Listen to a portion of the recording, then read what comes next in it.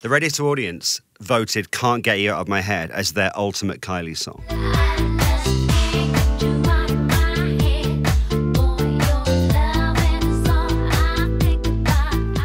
What's your favourite Kylie song? Oh God. Um, I don't know. I honestly don't know. I didn't think I was going to get an I answer. just, it's a question I can't. I mean, if I'm really, you know, if you really if I was had in to, a fix, I would have to choose. I don't know. I don't know. I don't know. Scott Mills, I don't know. oh, I thought you were going to say one then. Which one? I, well, I, I thought you were going to say Can't Get You Out of My Head.